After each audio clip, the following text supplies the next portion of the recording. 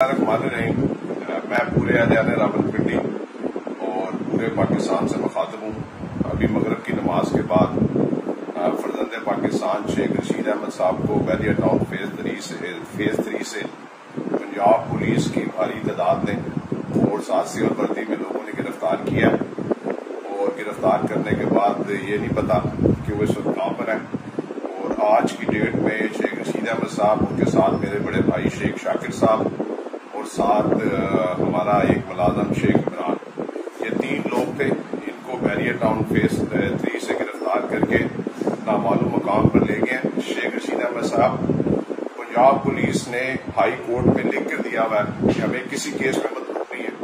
Islamabad high court में, इस्लामाबाद की police ने लिख के दिया हुआ कि हमें शेख रशीद अहमद साहब किसी केस में मतलब नहीं है।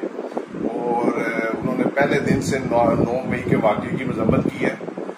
मैं भी नौ मई के वाक्य की मदम्मत करता हूँ, लेकिन जो हालात है, वाकयात आपके सामने हैं, मैं आला अदारों से कहना चाहता हूँ, हाई कोर्ट से, सुप्रीम कोर्ट से, कि हमें बताया जाए कि शेख रशीद अहमद साहब, मेरे बड़े भाई शेख शाकर साहब, हमारा एक पर्सनल सेक्रेटरी शेख उमरान, जिसको पंजाब पुलिस ने बैरियर टाउन फ़ेज़ थ्री से गिरफ़्तार किया है, वो इस वक्त पर है, ताकि हम उनकी कानूनी, उनको जिस जगह पर भी है, उनको मुतलका थाने में जो किसी पर्चे में वो नामिनेट भी है पता है पिंडी इस्लामाबाद में किसी पर्चे में नामिनेट नहीं है।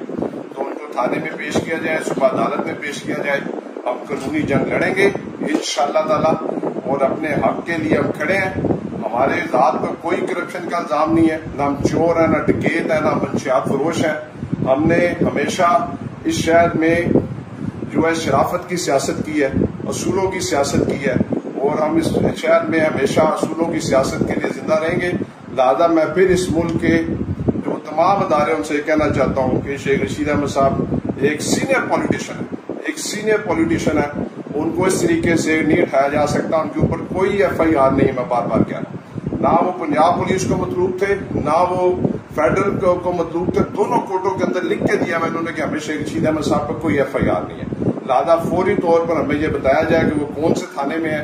और उनको किस केस में गिरफ़्तार किया गया है? सुबह हमारे वकील सरदार अब्दुल राजिक साहब इस्लामाबाद हाई कोर्ट और पिंडी हाई कोर्ट में रिट कर रहे हैं, ताकि हमें मालूम हो कि शेख रशीद अहमद साहब को कहाँ पर रखा गया। अगर खुदा न खासा उनकी जान को किसी किस्म का नुकसान हुआ तो मौजूदा पंजाब हुकूमत और फेडरल गवर्नमेंट इसकी जिम्मेदार होगी। शुक्रिया।